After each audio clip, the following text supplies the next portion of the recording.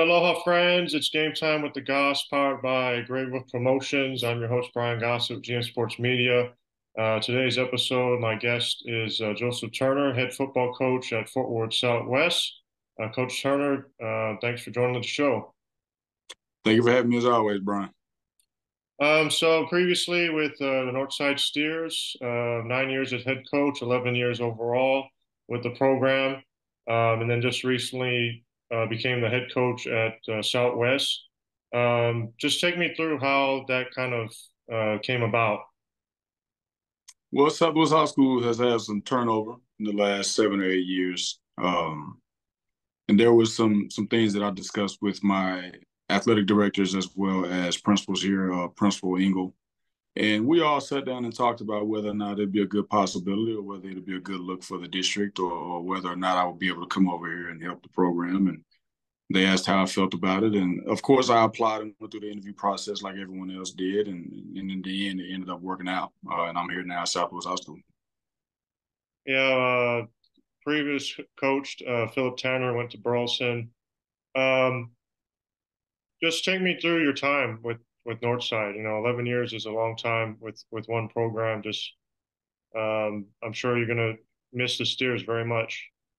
Yeah, absolutely. Know, my first year, I was uh, the defensive, not defensive coordinator, secondary guy. I coached safeties, and then the second year, I transitioned over to the offensive side of the ball. I was the offensive coordinator. Then, of course, my third year, Principal Martinez trusted me to lead the program, and I was promoted to head coach and, and boys coordinator did some really good things, built some really good relationships, and relationships that will forever last. Um, I will always miss Northside. It was a great community, great school, great student athletes, great staff to work with. Everything was tremendous. Uh, I, I will miss Northside. Yeah, and you got you really you know kind of changed that program. Um, you know, 2019, 2020, going to the playoffs. You know, it's been like four decades. Um, since Northside had made the playoffs previously. But uh, I remember you had a couple of 3 0 starts. You, you did a lot of great things at Northside. Just does anything stand out as like the most memorable? Well, going to the playoffs, securing that in 2019, and then actually in 2020, man, we were off to a great start. You know, we started off at five and zero oh uh, that year, beat some really good teams, and I had a lot of seniors that were coming back, and we were looking forward to that playoff game, but we got shut down due to COVID, so we missed the last game of the season actually, which was going to be against Southwest High School, who at the time had the same record as us. I believe they were seven and one, and were really good. Then we missed that game, and then we missed the playoffs. Uh, we would have played against Wichita Falls Rider. Um, we had a lot of things shut down, but my time in Northside was special, all 11 years, but that playoff run in 2019, that really set the mark.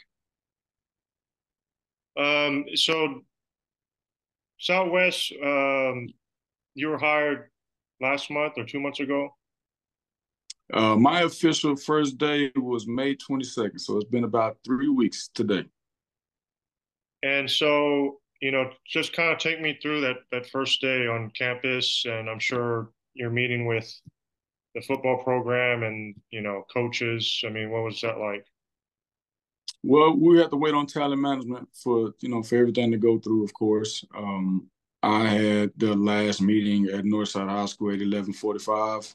I took five to ten minutes to address the boys, address the coaches, let them know what was going on. Told them I was proud of them to always remember the things that I've been trying to teach them, as well as the coaching staff. Um, then immediately after, you know, I shot across town because I officially started here at Southwest High School at 1 p.m. on that Monday.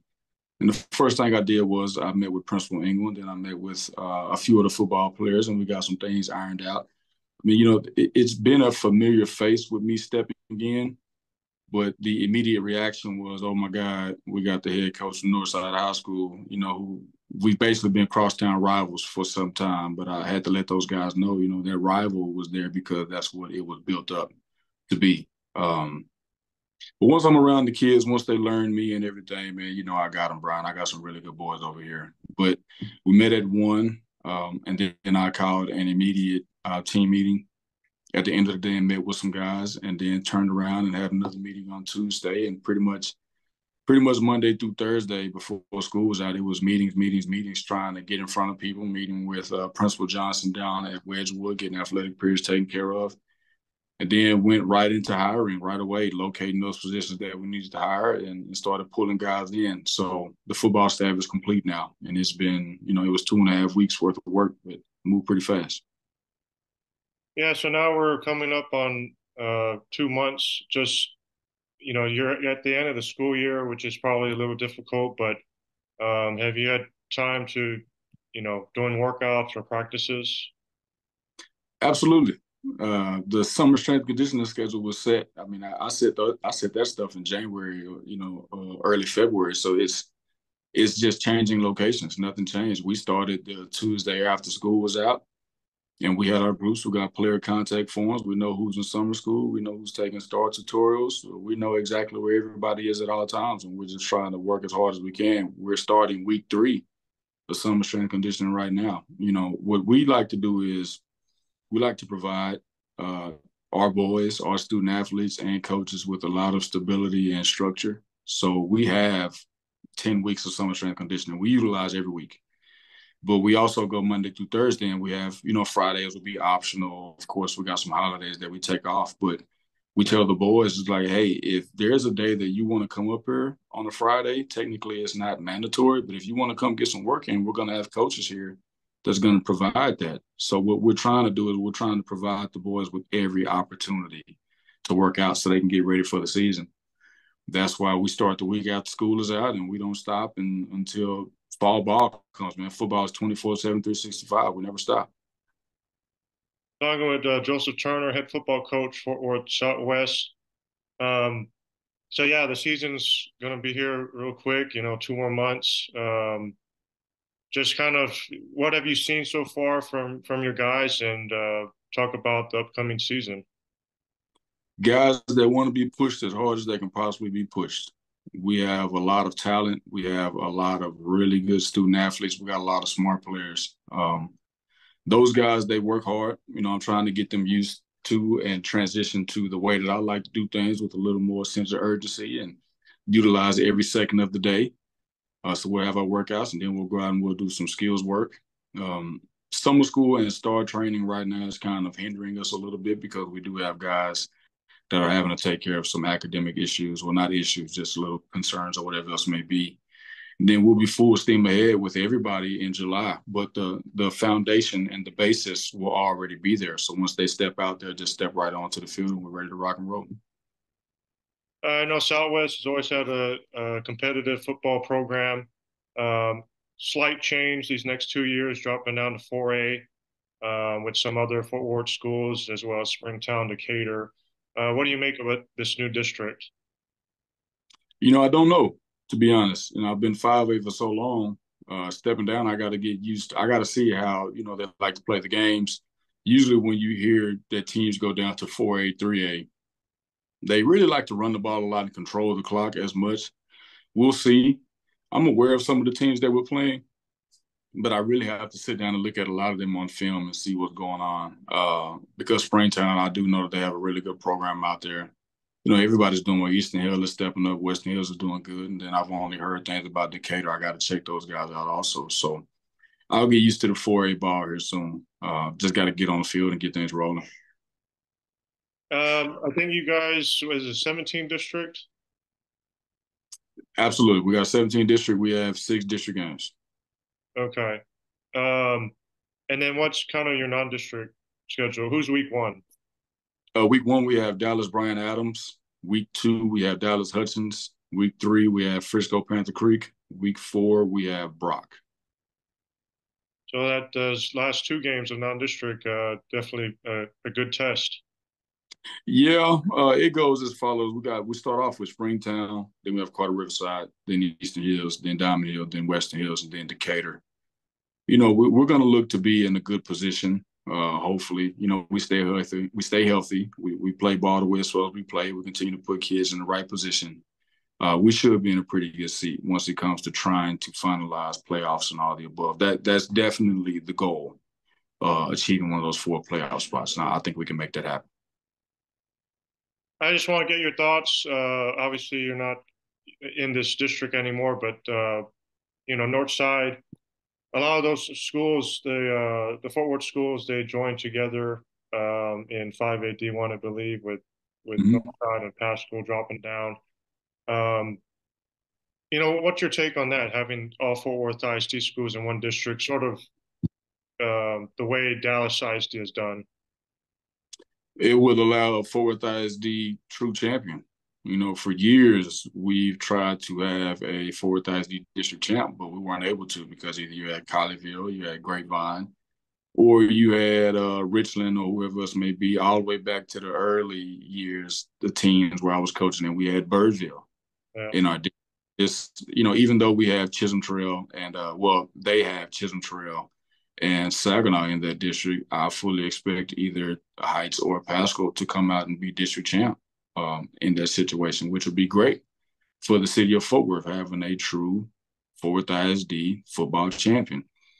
You know, 4A, we can have that. It's going to take some work because we do have some really good programs that we got to get taken care of and beat those guys. But then again, that's another opportunity to have a Fort Worth ISD district champ, which is going to make us look better as a district football wide overall. Uh, so when you came in, the was the schedule already set for you? Yeah, pretty much. We had a game that we had to take care of. Uh, we had to get some locations fixed and all the above. Um, but everything's set. Everything's already ready to rock and roll. It's been posted. The boys know about it. The community knows about it. It's on our Raider resource page that we use there at Southwest High School, and you can find everything you need on the Raider resource page. So everything's already listed. We're finalized. Uh, so how quickly uh, will we see a Southwest Northside matchup? Uh, I, I don't. That's uh, that, that's that's some years down the road. And actually, we were set to scrimmage uh, this year, but while I was at Northside, I had to pull out of the scrimmage and go another direction due to some logistics and those types of things. So maybe next realignment, who knows? It all depends on who the head coach is and where we are as programs. You know, I don't I don't know if that's something honestly that the community or even myself might be ready for just yet. It might be too much feelings involved, man. Let's give them some time. Let's get everybody time to transition and, and move Yeah. forward. Yeah. It definitely would be a, a special night, you know. I think uh, you'll be honored and recognized for what you did. I don't know, man. I hope so. But you know, it, I'll try to make it happen. You know, I just need to get my feet settled in stone here, man, and get things rolling and let those guys get it all figured out. You know, Michael Conley is now the uh, the interim head coach over there now, so I'm looking forward to those guys doing some good things. And I stay in contact with them, so I wish the best for them. Yeah, we might have to get you one of those uh, video tributes like Dirk Cat or something like that. Brian, it takes a lot to get me on camera. The only reason why I'm on camera is because of you, man. That's all. If it wasn't you, I wouldn't be on here right now. Awesome.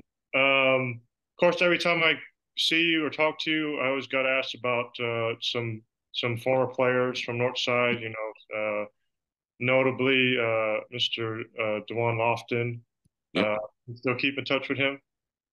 We talk all the time. We talked a couple days ago. He was settling down at Oklahoma State, where he's he transferred for his grad year. He did graduate from Virginia Tech in three years, and now he's getting his master's, and he's doing a phenomenal job, man. Dawan just continues to be a great young man. He's always made some great decisions, and he's already doing some good things on the football field as well. So, Dawan will always go in the right direction. He's a great kid, or a great young man, I should say. He's about 21, 22 years old now. Time flies, man. Absolutely. Um, and then, of course, you know, you, you being a uh, former TCU player, uh, always Mhm. like to talk some TCU, but um, you know, you still, um, you're still real close with with TCU football program, and and just kind of watching them as much as you can during the season. Yeah, I, I watch as much as I can during the season, or you know, there's guys up there that I still talk to. But Brian, I'll be honest with you. Once our football season comes around high school, I shut everything down, man. I don't, I don't watch a lot of football outside of what we're doing. I'm on a real tight schedule. I try to invest all my time into the program, and then you know, I have a, I got a wife and three kids, man. I got to spread time out with them also. Yep. Uh, but November, it's either November 8th or 9th. Oklahoma State is coming down to play TCU, so there's a definite that I will be there. I'll be in all black with Dawan's name on the back. I'm not wearing any orange though. So, Yeah. Um, and I'll just kind of get you out on this, but um, yeah, just what does what does the next um, month or two before we really officially get underway? What's what's it look like? A lot of again summer workouts and uh, strength and conditioning? Well, we have we have summer conditioning, uh, nine through eleven a.m. Monday through Thursday. Friday is optional if you want to come get some extra work in. We're in the seven on seven league with Crowley, North Crowley, Arlington, Bowie, Burleson, Centennial, Dunbar, uh, Chisholm Trail, Everman, Diamond Hill, Burleson, Mansfield Summit, ODY. There, there's I'm looking at the, the, calendar right here that I have. There's a lot of teams. we go over there on Tuesdays. So we'll go over tomorrow for the second week, and we'll have two more weeks following. And once we're done with that, once we get to July, we're going to get all those guys that are out of summer uh, summer school and start tutorials. And we're going to look to start building our team. We're going to start doing a lot more team organized things when it comes to offense and defense and installations and stuff like that. So that when we get to the fall, we're ready to rock and roll. But the one thing about, you know, myself and my coaching staff that I have, I have a great coaching staff, by the way we're planned out. We already know what we're doing, when we're doing it, and how we're doing it. We're just ready to get all the troops back so we can start rolling. Um, it was unfortunate that I got to Southwest High School so late in the year, the last week of school. I was hoping it was going to be two to three weeks prior. But everything's working out fine, Brian. Every day is a good day. We get guys out every day. We got guys working hard every day. And you can see the work ethic is paying off. You know, at first they were having a, a difficult time getting used to the up tempo style of workouts I like to run and now these guys are all used to it and they're rolling through with no issues. Um, so the coaching staff is good, the players are good, and having daily meetings with the administrative team, uh, going around and meeting principals, all the above. It's it's really just really just getting everything to where it needs to be to where I can operate and to where my coaches and kids can operate so we can all be on the same page. Same goal, man. Same goal. Win at everything we do. Awesome. Uh, you know, always always a pleasure talking to you. You do a great job. I know uh, Southwest is is lucky to have you, and I no doubt you're going to get a lot of wins there. I appreciate it. That's the goal. You know, we get everybody bought in, we'll be just fine. Now, now I've gone to the Raiders. You know, I went from Frog to here to now I'm here, man. So I'm getting used to that. awesome, awesome. Well, uh, enjoy the summer get better every day, and uh, good luck this season. As always, Brian, thank you for having me. All right, that's Joseph Turner, head football coach, Fort Worth Southwest. Um, thanks for tuning in. This is Game Time with the Goss, powered by Gray Wolf Promotions. Check them out for some great fan gear, uh, www.graywolfpromotions.com. I'm Brian Gossett with GM Sports Media, and uh, we'll see you next time.